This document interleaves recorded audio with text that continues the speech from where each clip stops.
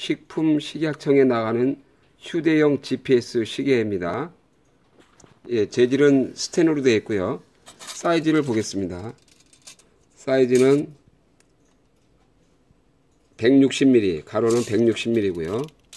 두께는 70mm, 70mm입니다.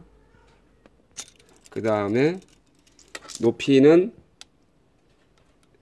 예, 95mm, 95mm입니다.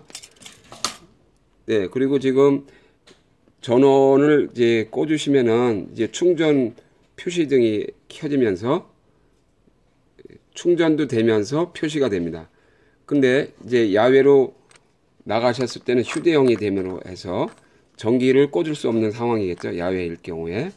자, 휴대용이기 때문에 전기를 뽑아도 계속 표출되는 휴대용 GPS 시계입니다.